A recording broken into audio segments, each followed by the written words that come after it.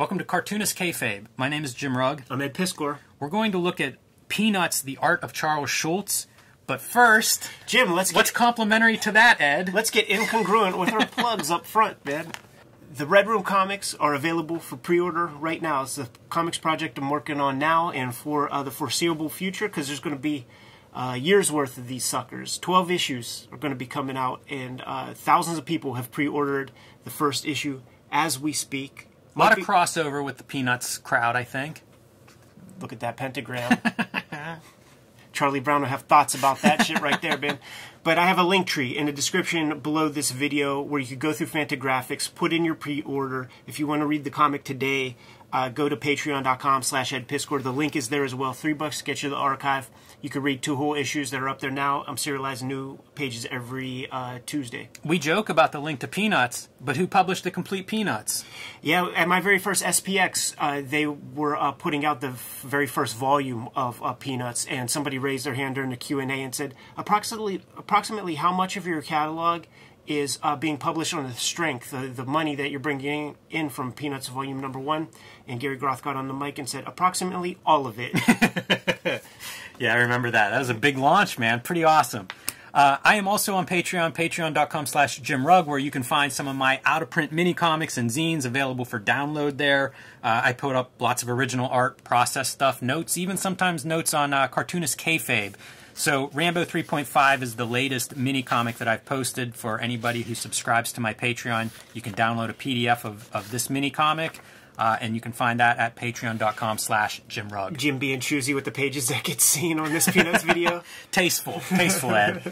Uh, so this is this is a cool comic. This came or a cool book. This came out in 2001. Uh, Charles Schulz, the creator of Peanuts, had died in 2005, and the creators of this book, primarily Chip Kidd, was given access to Charles Schulz's studio and uh, brought along his photographer to go in and put this together. And it's really amazing. It's kind of this um, scrapbook as put together by you know a designer with a with a great eye to go through and and share this stuff. And I thought that's what we would do is just kind of do a flip through here and uh, get to see a plethora of Peanuts artwork and some interesting insights, as well as Chip Kidd's design and photography thing, which he had done Batman the Animated Series book, which took a similar approach of just calling a lot of different informa- different information sources, sketches, photos, figures, all this stuff. How do you make that into something that makes sense graphically? And he did it with the Plastic Man, the Jack Cole book with Art Spiegelman.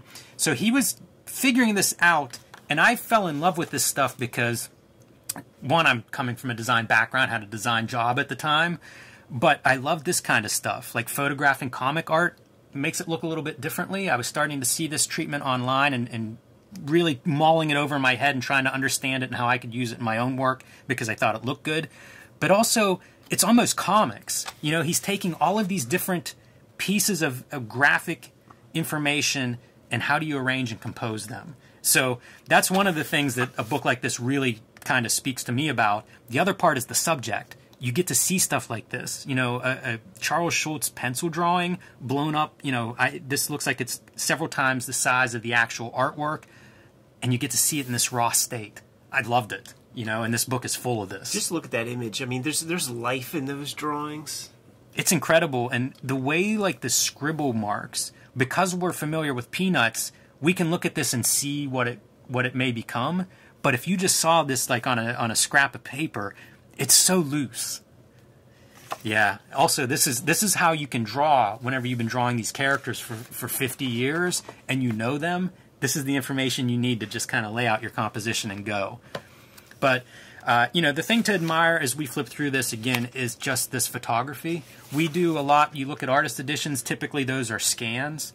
Um, there's something about the photography, and uh, Geoff Spears is the photographer that Chip Kidd has worked with on lots of volumes, and uh, I think it's noteworthy because you see all of this detail. I mean, look at the color for the blue on his shorts. You know, we often point this out. Um, used to the dots for coloring, but this is another technique or another uh, screen that would be used for, to achieve these. So those little details are something that first part that hits me whenever I look at this book. So uh, so that artwork is is not scanned. No, this is all photographed as far as I know. There, I don't. I, I think it might all be photographed. I don't know that there are any exceptions to that. Uh, introduction by Charles Schulz's widow, Jean Schulz. Um, I mean, we can't we can't overstate Peanuts and the effects that has on comics history. As you opened, Ed, you know Gary Groth talks about the impact it had on Fantagraphics. Uh, tell me if I'm being too dramatic to say there might not be a Fantagraphics today if they didn't get that Peanuts license. Yeah, quite possibly, man. They they they had a lot of dire straits, like in the late '90s. You know, that was a bleak period, early 2000s, pretty tough, and and uh, the Peanuts books definitely saved the day. I love these kinds of things of like the printed panel blown up where you get to see all the all the printing issues. And they're going to be like we're going to get into, you know, lots of these strips where we'll see some of those, but there are stories of like things like Charles Schulz's minimal style was so odd to engravers and stuff. There'll be strips that are printed without eyes because it looked like it was a speck and the engraver would fix it. Right, yeah, burnish it off. Yeah. whatever. and like seeing it up close like this, this is the stuff that you, when you're playing around with this kind of Mm-hmm. old Lichtenstein style, when you realize like the black is not black. Right. You know, there's color in there, and uh, our uh, good pal Tom Scioli, he he calls it uh, skin cancer black. I also like seeing the range because Schulz, he draw for 50 years. You know, uh, that's quite an evolution of style, and, and you can see it in a book like this that's showing us examples from those 50 years. But this is also the ephemera that I love from this book, is when you get access to his studio, you get to take pictures of tools and things that were still uh, in place, you know, whenever whenever he got access to this. So, And look, just a Ticonderoga pencil, nothing special. Peanuts bandage. that dude's got money, man. that dude's got money for days. Yeah, I love all this stuff. I love seeing the ink worked up onto the pen nibs as well. You know, it really shows uh, Look at young Sparky. working cartoonist, man. You know, that's that's an ink covered pen. Yeah, there's background on his, you know, biographical kind of background, yearbook photo. Oh, this is famous. this is a very famous exercise. The idea was the art instructor was like, you have like 10 minutes, you know, you have five minutes, draw three of anything.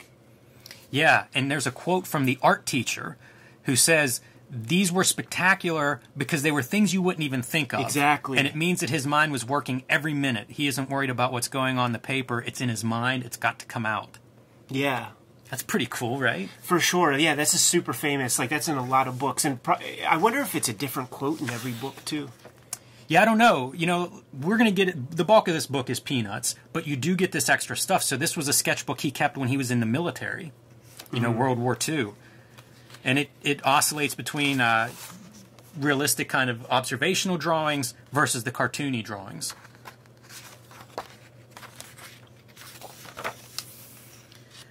He was an instructor. I think that was a cor- correspondence course that he would be one of the instructors in. Is that He was an instructor. yeah. One of his first jobs, 1945, took a job as an instructor at his alma mater in St. Paul, Art Instruction Inc. Yeah, I think that's probably the same thing as like the draw the turtle, draw the pirate spot. Yeah. Uh, New Yorker kind of style drawing, working with washes. So a lot, a lot of, uh, like I said, early examples of stuff that must have been around in the studio and the records and who knows flat files. Yeah, I think his early work like showed up in uh, um, like uh, Saturday Evening Post or something like that. Yeah, I think that's true. Right. And if I were uh, more conscientious, I could point to those because they do is, they do spell it out. Yeah, That's a classic one. absolutely love it and it's a beautiful you know it's a photograph it's very very nice uh, image version of this image Yeah, but it's him cutting promos on comics, which he which he does, which he would do regularly. He wasn't a fan of the comic book; it was uh, vulgar vulgar trash to him. So if you want to boost the numbers to your Instagram or something like that, you just take one of those images and post it on your thing, and if the right people see it, you're gonna you're gonna get more hits on your shit than you usually do.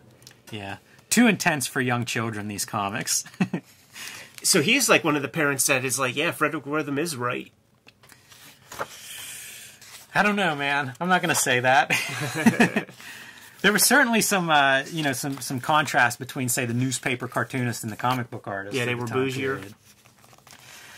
this is another one of those things like break out the camera let's look at some tools very awesome to see this and this was a lettering pen this is a c5 i think there were five or six of these nibs. The the bigger numbers were the bigger tips, but this is what he used for lettering. And look at that ink is caked on there, man. Yeah. decades of, of ink on that nib. That's the thing. Like the Hunt 102, you gotta you gotta change that every three four pages. But those big flat nibs, you could use that thing forever. Like it's not gonna dull or it, it is dull. Yeah, It's it's gonna be this tip forever unless you do something drastically wrong. and uh, famous for whenever the the pen nibs that he liked, whenever the company announced that they were going out of business, he bought all of them. 914 radio nib. And where you can find this, if you're ever curious, I've done this before. You can buy lots of nibs on eBay, old vintage nibs. Many of them are in really good shape because the metal used to be of higher quality. Right. So, you know, if you're curious about playing with pens and especially some of these older and different nibs besides the Hunt 102, um, that's one way to get some, some pen nibs and experiment with that. All right, man. Starting to get close here. It, it, it's so much more detailed than what like Peanuts became. You know. Yeah, it's one of the revelations again for looking at this stuff over, you know, a book that, that surveys kind of like the 50 year history. You get to really see that. Uh, there's there are a couple of notes that a lot of these Peanuts strips are from Chris Ware's collection. Chris Ware, a friend of uh, Chip Kidd, lent them to Chip Kidd for the purpose of constructing this book, and they don't answer this, but I'm curious about how these are all arranged. Um, you know, we often see, look, there's the example I mentioned of like a burnisher might lose an eye or something. There are several of these, you know, throughout, but uh, that's a pretty good example of that. um, and I think they talk about it, you know, the, the, the printer would correct this because they thought it was dirt on the plate. Yeah. Don't don't get that out of there. Right. Get get that one right there out of there. I would kind of like to ask that printer a question or two about this because how do you not recognize that's an eye? It's- Why'd you leave this one here? if you thought this was wrong. It's ridiculous. It is. It's it's very silly, um, but I like the preservation of the strips. You know, something that people used to do. We've looked at strip collections at the Billy Ireland, where it'd just be like the the block. You know, someone would cut out each daily strip, and then they save them by year, and you can buy those things on eBay. Mm-hmm. Um, before everything started to be reprinted, that's kind of how you you know that's why Chris Ware collected these Take because it wasn't Fantagraphics hadn't started doing the the complete peanuts. Yeah, man. Take take a look in any uh, studio photo of like an older cartoonist, and you'll see the little shoebox with Nancy, 1934 to 1944. You mentioned more detail, Ed. This is one of the early Sunday strips, and you can see it everywhere here. Detailed rugs, the steps. Look at that perspective steps. You don't Yeah. see a lot of perspective in Peanuts, but whenever he did it, it looked good. These early early examples remind me of stuff like, um, uh, you know, John Stanley or something. Yeah. You know, little Lulu comics and stuff. They're very lively and Yeah. very colorful. I really like the color Sundays. And also just like um, slick, like very very slick inking. I mean, look how beautiful that is for color. Yeah, yeah, it's awesome. I wonder about the uh, the setup for photographing these. You know, part of that is lighting them, mm-hmm. and and you know that's why you get a professional photographer to do this. But it definitely looks great. Looks very warm. I think that's a uh, a part of this. And I wonder, this is probably film photography, right? Like this pre-digital. Yeah, I mean, obviously, you could have been shooting digital with 2001, but it's it's very possible. It's it's shot on film. With how big these images are, that would require a lot more megapixels than you might have been able to get your hands on. Yes, and also um, they might have been shooting on slide film because that's how you would shoot art. Um, that information might be in here, and if it's not, you can probably find that kind of process information, this this how to stuff. Because Chip Kidd's one of those guys. Like, how many people copied this aesthetic? Yeah. I credit him with a lot of this stuff, but a lot of people there were a lot of imitators, and he may not have invented it, but it's it's the the he populated it in my mind Yeah. And uh, and I think it was a different way to look at these comics. So I flagged this for that little Lulu comparison. To me, this is just fun, colorful action. There's a lot more action and movement, I think, in some of these early strips. Even the word balloon has that kind of action uh, movement in it. It's really cool. So the bulk of this book are these strips. And there'll be commentary on various things, themes, where characters came up, how those characters evolved. You know, Lucy uh, starting out as a baby and quickly becoming what we know as, as Lucy. So I'm going to kind of like jump ahead through some of these things uh, in the interest of, of time and avoiding some of the repetition.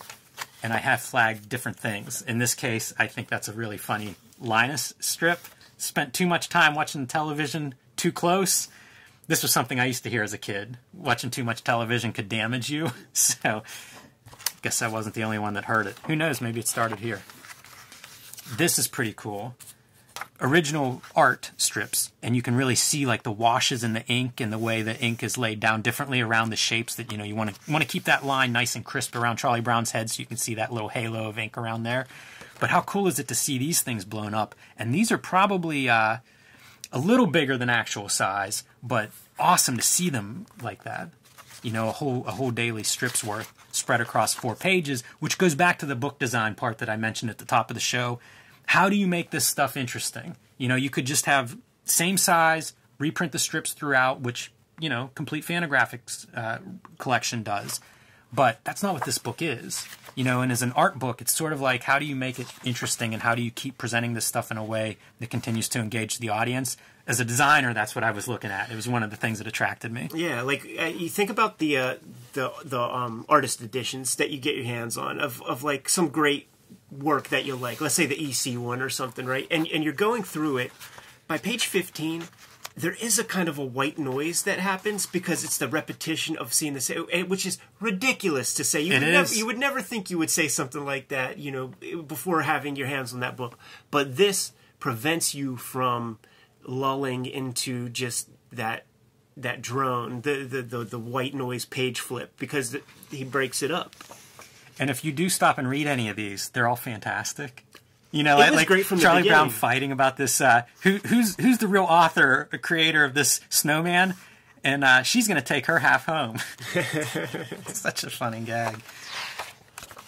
Um, I thought this was noteworthy. This is a the original panel, and then the panel that he ended up using, where it's you know most college players are bigger than us. Definitely, that illustrates that gag better than the uh, the original, the first version. Although the concept's there, little tiny figures. That kind of insight is, is really great. And then more of this ephemera, right? Like comic book versions and collections of the Peanut strips.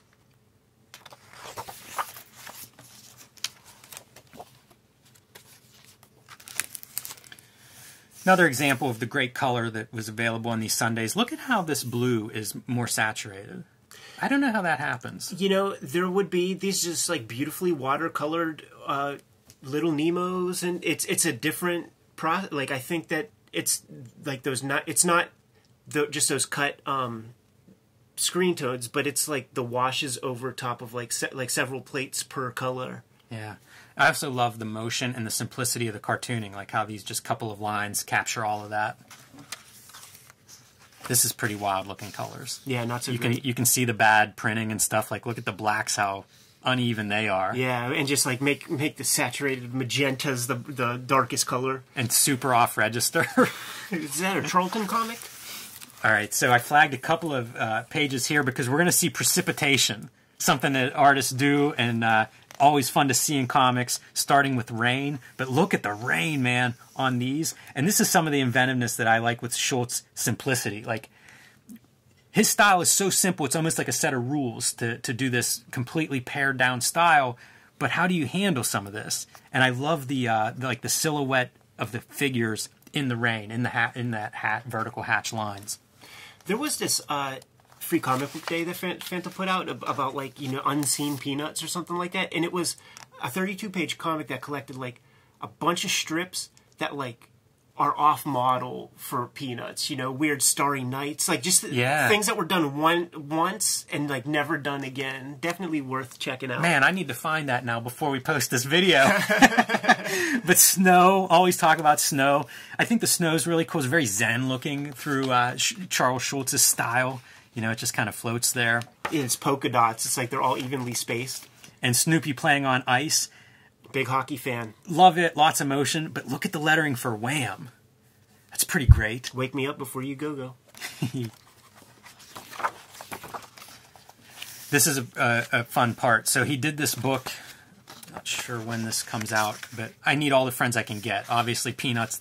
Lots of book collections of this stuff, even original stuff. This is almost a graphic novel because it's all themed and original, but it's the pencil drawings.